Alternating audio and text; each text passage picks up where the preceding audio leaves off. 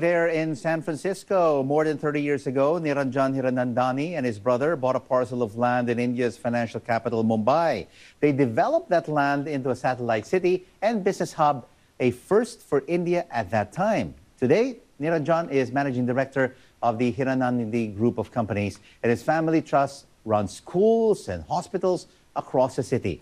He is also one of India's richest men. Samir Hashmi caught up with him over a bite to eat for our new series called Busy Breakfast.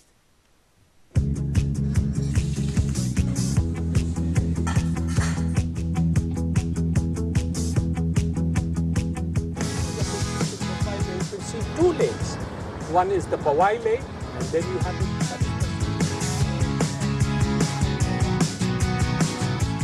I give a lot of emphasis to the breakfast, so I do spend some time over it. But the major thing is also the fact that I don't get too much time to really have lunch. It's quite, quite a busy day.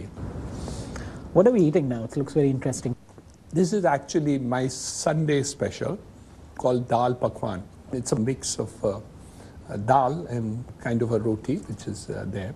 So it's different, but it's traditional. You were talking about work life balance.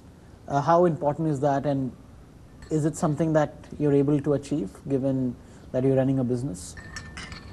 The answer is no. I'm a workaholic by nature.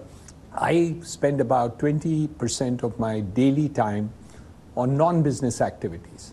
So when people say I need to go to the golf course to get peace of mind, for me it's different. I just have to work on the hospital issues or the college issues or the school issues.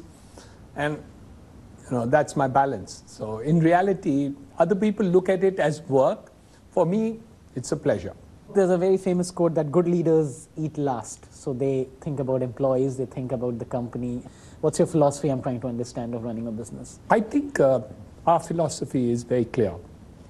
Every stakeholder has to be a beneficiary of what you do. So it's not only about employees, it's about your investors, the flat purchasers, those who occupy your buildings. Of course, you look at the top line, of course, you look at the bottom line. But if you don't bring satisfaction to all the stakeholders, uh, you're incomplete. I'm ready for my power breakfast. And this is where Asian markets stand at this hour mixed. Thanks for watching. I'm Rico Hizon. Bye for now.